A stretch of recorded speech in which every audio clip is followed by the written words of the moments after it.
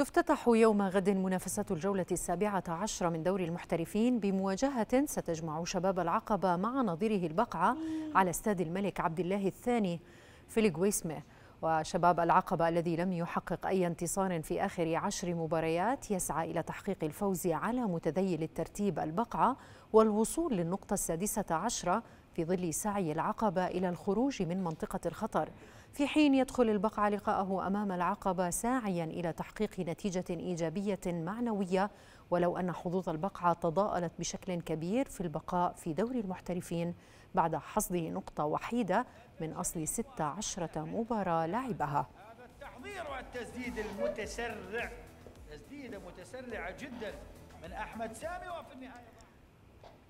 ونبقى مع أخبار دوري المحترفين حيث كشف فريق السلط عن أسماء اللاعبين الذين سيتغيبون عن المواجهة القوية التي ستجمعه مع الوحدات ضمن منافسات الجولة السابعة عشرة من البطولة.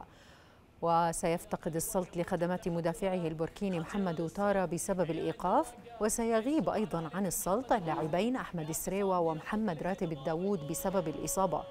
هذا وسيكون المدير الفني لفريق الصلد جمال أبو عابد ملزما على إيجاد الحلول المناسبة لسد الثغرات في صفوف فريقه المطالب بتحقيق الفوز لتعزيز آمله في المنافسة على اللقب.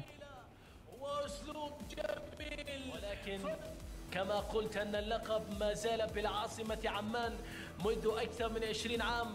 لقب الدوري مستعصي على الأندية من الشمال في كرة القدم النسوية واصل منتخب النشميات تدريباته البدنية والفنية في العاصمة الأوزبكية طشقند استعدادا لافتتاح مشاركته في التصفيات الآسيوية. وكان المنتخب الوطني للسيدات قد أجرى يوم أمس تدريبات استشفائية بقيادة المدرب ديفيد ناشيمنتو استعدادا للعودة إلى التدريبات بشكل طبيعي.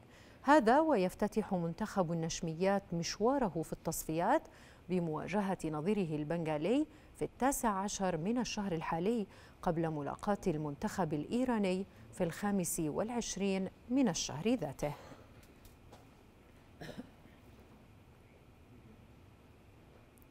في أوروبا تستكمل الليلة منافسات الجولة الأولى من دور المجموعات في دوري أبطال أوروبا بإقامة ثمانية لقاءات من بينها قمتين ناريتين حيث يحل ريال مدريد ضيفا على إنتر ميلان في حين يستضيف ليفربول نظيره ميلان. تفاصيل أكثر في هذا التقرير.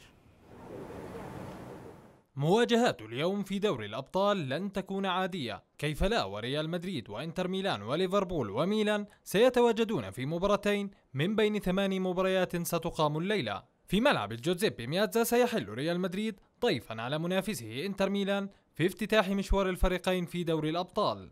ريال مدريد يظهر منذ بداية الموسم بثوب جديد مع مدربه الإيطالي كارلو أنشيلوتي حيث فرض وجوده في الدوري الإسباني بعدما حقق ثلاثة انتصارات وتعادلا وحيدا ليعتلي قمة جدول الترتيب برصيد عشر نقاط ويسعى من خلال هذه المواجهة أن يبدأ مشواره في بطولته المحببة دوري أبطال أوروبا بانتصار ثمين خارج الديار.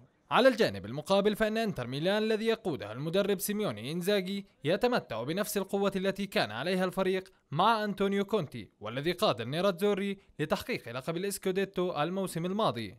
ملعب أنفيلد سيكون مسرحا لأحداث مباراة ليفربول أمام نظيره إي سي ميلان. مباراة يدخلها أصحاب الأرض ليفربول بنية الفوز أمام جماهيرهم خاصة أن الفريق يعيش حالة معنوية مرتفعة بعد التألق الكبير في الدوري الإنجليزي والفوز في ثلاثة لقاءات من أصل أربعة لقاءات في حين ينتظر عشاق ميلان حول العالم عودة الروزونيري لأمجاد دوري أبطال أوروبا من جديد رغم صعوبة المجموعة التي ينافس فيها العملاق الإيطالي.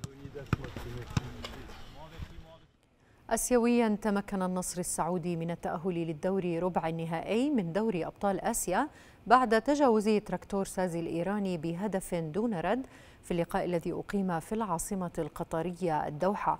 هدف المباراة الوحيد سجله المهاجم الكاميروني فينسنت أبو بكر في الدقيقة الحادية عشرة. واستطاع العالمي أن يحافظ على هذه النتيجة حتى نهاية اللقاء ليضمن بهذا الفوز العبور لدور الثمانية كون هذا الدور يقام بمباراة واحدة فقط. تاليسكا يا جماعة تمريرة حلوة لأبو بكر.